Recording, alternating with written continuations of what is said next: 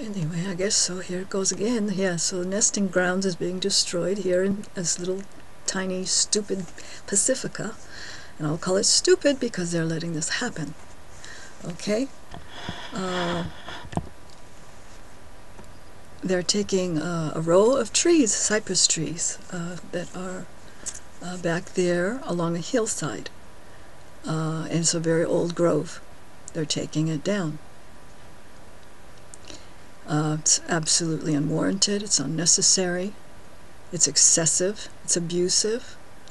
Um, where are the birds going to stay? Why are they trying to kill the songbirds? Why?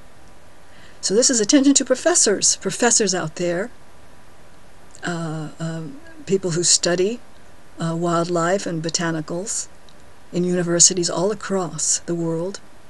What are we going to do?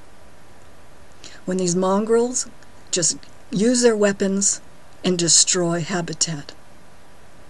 Why are we letting this happen in inner city areas? This is an inner city area. Why is this allowed to go on? We need you. We need the professors.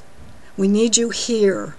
We need every single professor who studies ornithology, who knows anything about birds and wildlife to be here. Do you understand?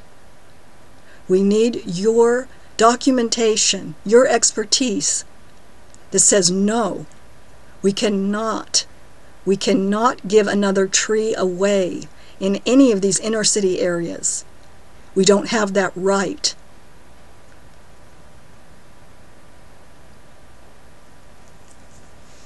Songbird habitat is very fragile. It's a very fragile unit. A bird flies from one area to another. It needs a tree in the middle. You cannot take the trees down. You destroy the birds on both ends. Do you understand? When you kill the birds, you kill the humans also. We cannot live without birds. We cannot live without birds. End of story contact all of the professors you know at any of the high at the high schools at the at the at the the universities. Get them on the bandwagon. This is the priority is we save even these little these little trees this is a mon- this is a monster grove. We save these trees.